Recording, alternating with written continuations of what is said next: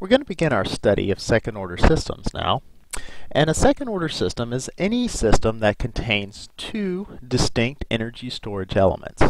We're going to begin our study by looking at a mechanical system that's comprised of a spring and a mass that's sliding on a surface uh, with viscous friction. All right, and I want to point out that this sliding surface uh, is something that has like a thin layer of oil or liquid on it. And um, the reason that this is important is that this is viscous friction, and it is different from the dry friction that we have discussed in um, statics and dynamics because viscous friction depends upon, the friction force depends upon the velocity at which the object is traveling. So it's kind of like an air resistance or fluid resistance. Um, and this is how we're going to be modeling um, most of our systems is using this viscous friction concept uh, for a mechanical system. Um, it may be strange to think about looking at a mechanical system and an electronics course. But uh, the reason that we're doing that is that we will see there are many parallels between a mechanical system and modeling of an electrical system. What we're going to find out is that the mass is similar to the inductor. The resistance is um, similar to the uh, loss, uh, the energy loss due to friction. And the capacitive element um, is, an, is a potential energy storage device just like the spring is.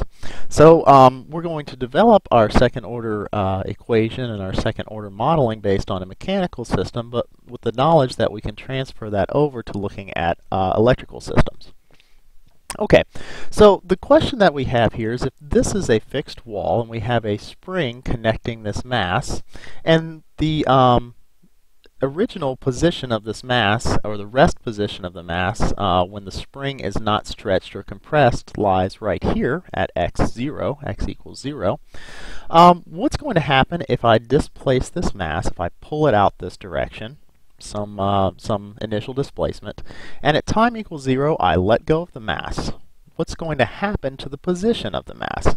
This is analogous to determining what the voltage across this capacitor is going to be when I take a switch that is connected to this voltage source and I suddenly turn that voltage source off and uh, connect just the inductor, resistor, and capacitor together. Um, so again, we'll talk about this analogy, but uh, again, let's go back to this um, to the mechanical system and again say what happens when I release this mass from its non-zero rest uh, from the non-zero position. How is it going to, how's the position are uh, going to change with time? Well, uh, the first thing that we would expect with this is that if I release the mass from this initial position, since I have the spring attached and I have this uh, fluid viscous friction on here, the spring is going to exert a force on the mass and cause it to start traveling in the negative x direction. Of course, depending upon the parameters of the spring, how strong the spring is, the size of the mass, and the amount of friction that's present, um, I would expect that it would overshoot the initial position or the original x0 position. And at that point in time, the spring would be compressed, so it would exert a force in the opposite direction on the mass and go back that direction. Alright, so from our experience with springs and masses, we would expect some type of oscillatory behavior where the mass is going to bounce back and forth around the equilibrium position until the viscous friction dissipates uh, all of the uh, energy that's associated with that initial displacement. Okay, so if I were to plot that on a graph, it would look something like this. I would start at some initial um, displacement, and as time progresses after I release it, I would expect some sort of decaying uh, cosine type of oscillation right, that looks like that. So that's one potential um, response behavior that we would see for the position of this mass. Now there's another one that we have to be aware of for second order systems, and the other one is what happens if this spring is very weak or there's a large viscous friction force relative to the mass of the system.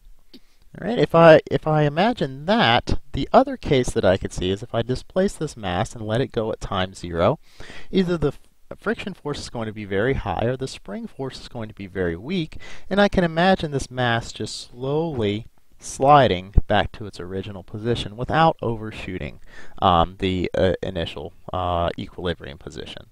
So the other response case that we could have for a second order system looks like this. It's going to start at the, non, uh, the um, initial position and it is going to decrease, sort of exponentially approach the equilibrium position.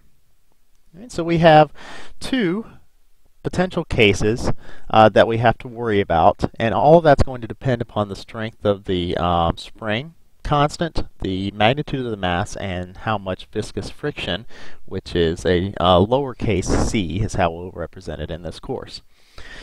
Alright, actually it's going to turn out that we actually need to worry about three possible response scenarios for um, for a second order system.